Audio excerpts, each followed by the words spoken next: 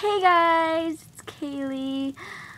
Um, today why don't we talk about boys? Aren't boys so cute? It's like, oh my god. Like, this boy's hot and this boy's ugly. This boy's weird. This boy's okay. And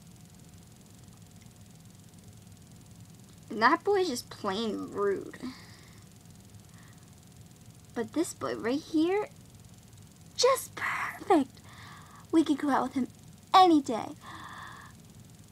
But sometimes you gotta know to not go too fast.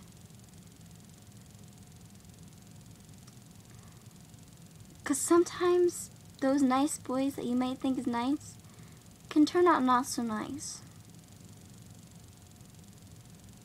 And I've learned that the hard way with my first boyfriend. They could get annoying too.